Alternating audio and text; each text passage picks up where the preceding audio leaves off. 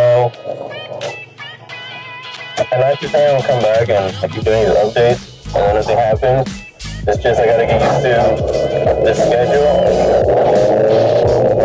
of sleeping during the day or half the day and working at night. But hopefully, if the rain isn't that bad, we'll do something this weekend. Take the truck out. Uh, I'll get to the truck right now. So this past weekend was Layla's birthday. She's three now, and it was Disneyland. Had a great time. Right when I started filming, I was like, alright, cool. I got some little B-roll, and then the SD card started messing up, so I took it out. And then before I could switch it, then my wife, we wanted to get on Dumbo, but my wife got on Dumbo, and then we got on Buzz Lightyear all together. So I Buzz Lightyear come back, the camera's gone. So I think we it right there in the cup holder, someone saw it, grabbed it. I want to go tell uh, Disney police.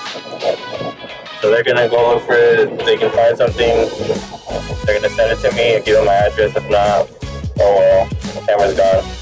The good thing is I got to keep the SD. So that's a good. But yeah, I don't have any footage of the weekend. This shit on my phone and it's not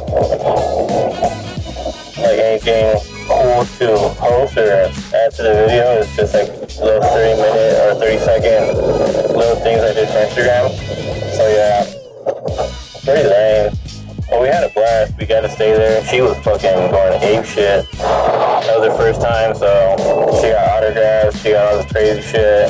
Um, she was just fucking running around, setting a party in the elevator. It was fun. She got to meet some of the characters. Um, what else? We stayed there the night, so she had a blast with that. She loves staying. Like anytime we don't come home, she has a fucking blast. She's like me. I don't know why, but I love hotel rooms. I love staying out. Just anytime I don't have to come home, I love it. It's not that I don't like home. It's just that just being away from home feels awesome. but yeah, we had a good weekend. So sorry the audio is kind of weird. I gotta get used to doing this one on the. Uh, I think this one's a five. So yeah. About the truck.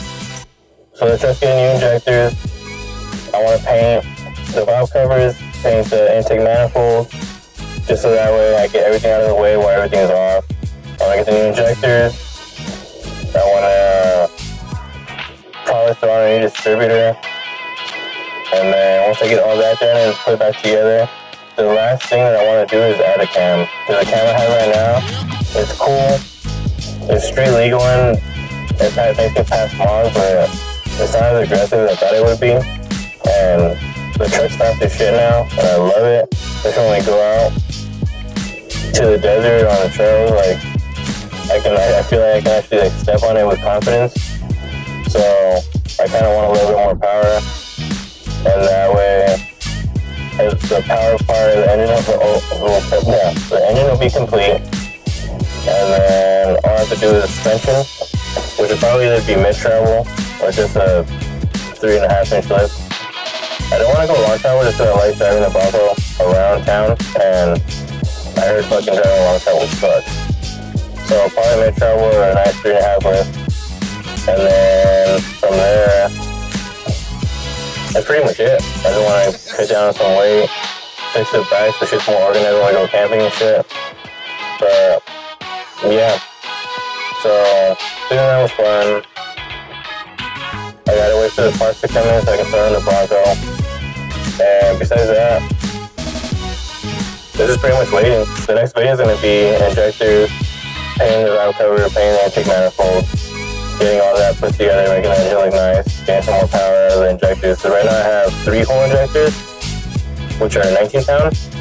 And then the 96 and 98 Explorers have four pound injectors. I mean four hole injectors that are 19 pound also, which give it a more smoother spray and content spray, which is a lot better for, I guess, power and mileage. So I'm gonna do that. That'll help me out a lot.